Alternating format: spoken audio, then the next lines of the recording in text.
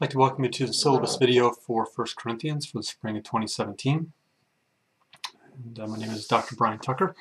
I'll be your instructor for the course. And uh, so if you'll grab a copy of your syllabus off of Blackboard and we're going to walk through it, talk about uh, the expectations for the course. I don't go over the syllabus in class. We just jump right into the teaching. So uh, hopefully you'll have uh, listen to this before class. Class starts tomorrow uh, from when I'm doing this video tomorrow, January 10th, and it goes from 7.50 to 10.30 p.m. And uh, so, uh, you should have the syllabus version 1 uh, in front of you. And a couple things to keep in mind, uh, my office hours are Tuesday and Thursday from 1 to 1.50. Uh, that doesn't mean that I'm uh, not available otherwise. It just means those are the times when I'll be at my desk and can be reached quickly for phone calls or emails. but you can catch me different times. I'm here pretty much every day. Uh, you know, the one challenge will be, um, am I available before class for this evening class?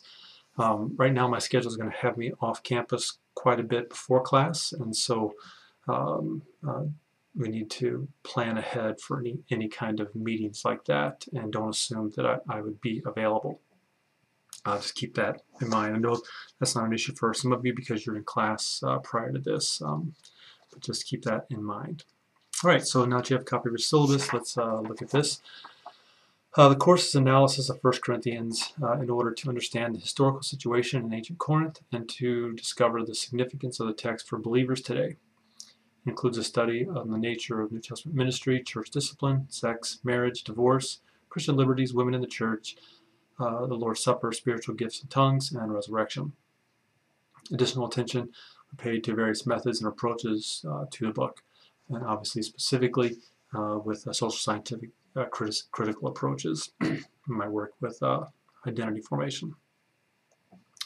Prerequisites, you should have hermeneutics, New Testament history, literature, and theology done as well. In other words, I assume those basics, we build on those.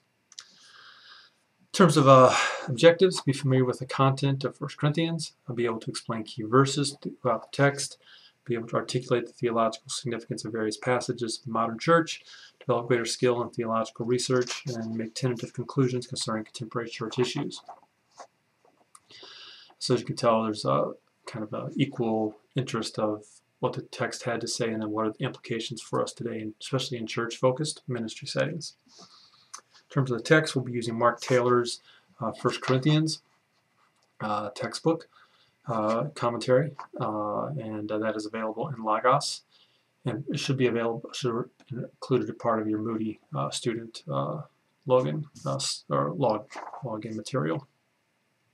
And then my book, Remaining the Calling, Paul and the Continuation of Social Identities in 1 Corinthians. And uh, I know that some of the parts uh, have Greek in it, um, but uh, those that don't have Greek will be able to navigate that, just kind of gloss over it and jump right in. You should be able to follow it with no problem and then Logos Bible software, uh, the Moody Logos library, which again should have uh, the First Corinthians commentary available for you. All right, requirements. Um, the exam is 50% and the position paper is 50%. Uh, the exam will be a final exam covering reading material. Uh, you are to read completely 1 Corinthians three times during the semester.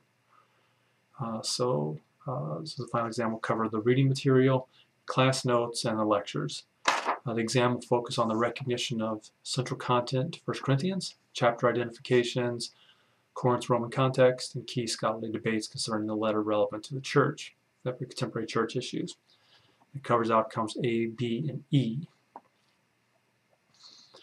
The exam uh, have uh, the uh, outside of class portion has three parts.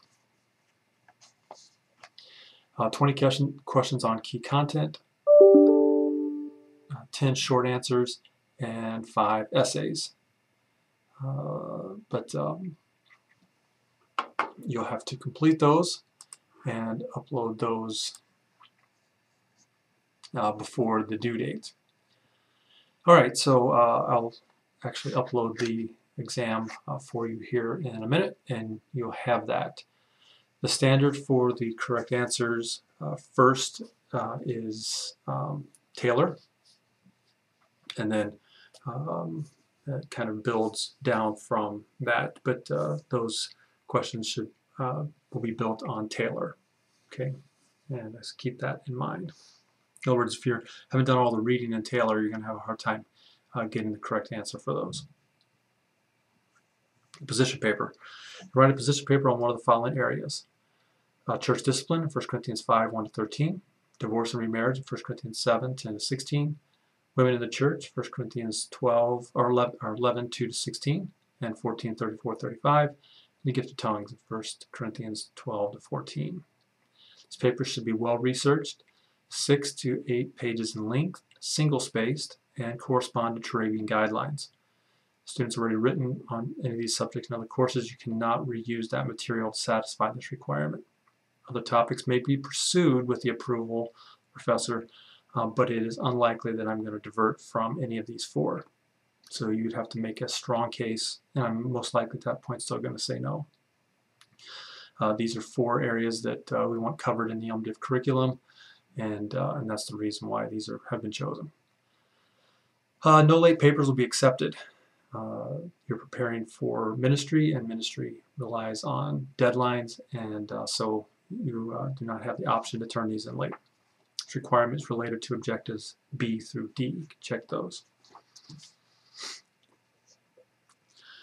Uh, grading scale is the standard grading scale. Um, attendance policy, attendance is expected. Uh, final grade was reduced one level for any unexcused absence, um, beginning with a second unexcused absence. Uh, you should contact me before, but contacting me before doesn't mean you get an excused absence no matter what. All that is saying is you're doing your due diligence to let me know that you're not going to be there. So I'm not surprised and wondering why you're not in class. Make sure you read the student handbook uh, with the specific policies with regard to missing class and what you can or not expect to get uh, from that as well. Plagiarism. Uh, especially with topics as, as generic as some of these position papers, church discipline, divorce, remarriage, women in the church, and gift of tongues, you could be tempted to uh, pull material from other places. Um, so resist that temptation. Uh, the assignments are run through um, a, checker uh, for plagiarism. Uh, no recording uh, of class lectures in any form. So uh, this is a non-negotiable for me. This is it's crucial for us to have free flow of discussion and interaction in class, especially with the touchy topics that we deal with in this course. So um, I need there to be a sense of, uh, of a community between all of us and interacting. If there's learning disability, make sure you've contacted me uh, uh, to begin the course to know about that. With regard to the UMDiv outcomes, uh, this focuses on the part that says express knowledge of the content of the Bible. So we'll be doing a lot with the content of 1 Corinthians.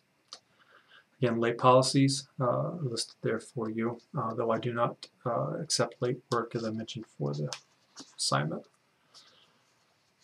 Uh, no food in class, no social media, no smartphone use.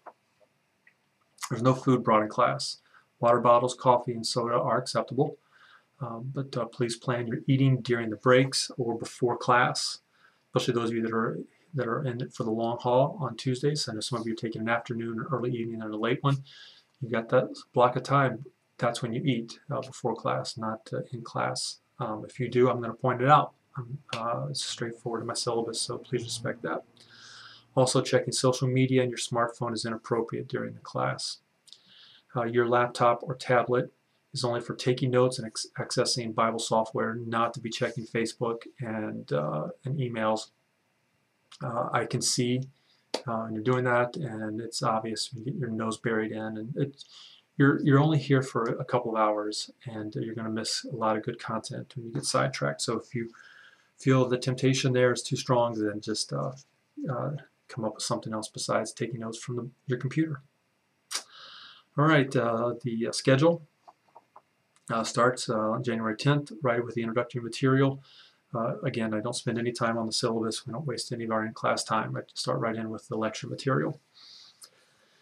Uh, and then you have uh, the, your reading assignment to due, and you can see that listed there for you. Uh, so we'll do first a few weeks in 1 Corinthians 1 to 4, then three weeks in 5 to 7, a couple weeks in 8 to 10, three weeks in 11 to 14, then a couple weeks into 15 to 16. Uh, these may fluctuate a little bit based on uh, interactions, uh, but uh, that'll generally give you an idea how, how we're moving along. Right, you have the bibliography that's listed there for you, and the grading rubric for the final exam and the position paper. Make sure you take time to, to read those. Uh, on the exam, uh, there is a temptation to uh, try to work on this exam too soon. Make sure that you take your time, uh, but you don't start on, on those uh, questions uh, too early, lest you find yourself having to revise later and then you forget. So that's up to you. You have to organize yourself as to when you work on the uh, outside of class exam portion. There is an in-class uh, exam uh, portion that occurs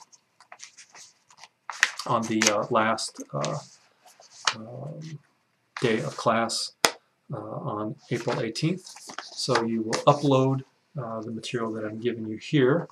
that gets uploaded to Blackboard and then there will be a in-class portion uh, that will be discussed uh, later on, so you want to make sure you're taking good notes uh, for all of that material, and more on that as the class develops.